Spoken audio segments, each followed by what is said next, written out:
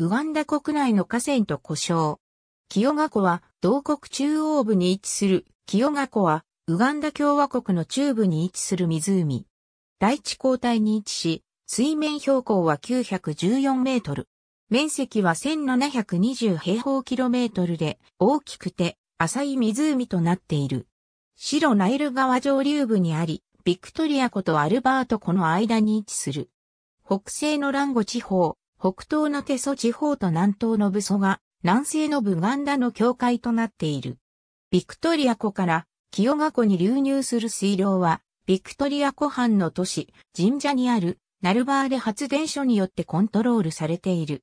この他に、清賀湖に流入する河川の水源として、ウガンダとケニアの国境にそびえるエルゴン山がある。なお、清賀湖はアフリカ大古礁の一帯に位置しているが、アフリカ大古礁には数えられていない。水深は最も深い場所で約5.7メートル、湖の多くは深さが4メートル未満と浅くなっている。水深3メートル未満の水域は全域が水蓮で覆われ、湖岸の大半にはパピルスやホテイアオイが生育している。パピルスは小さい島々の間を漂う浮島を形成している。北西部のクワニア湖とは増水時にはつながった状態になる。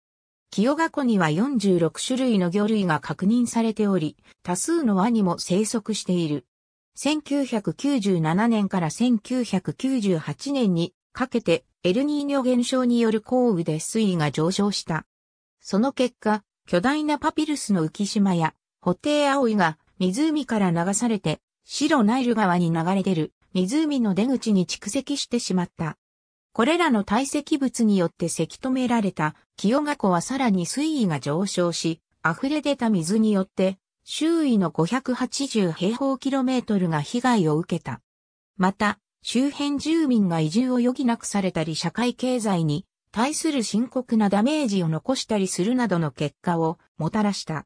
2004年、エジプト政府はウガンダ政府に対してうまく流れるようにするための工事費1300万ドルを送った。ありがとうございます。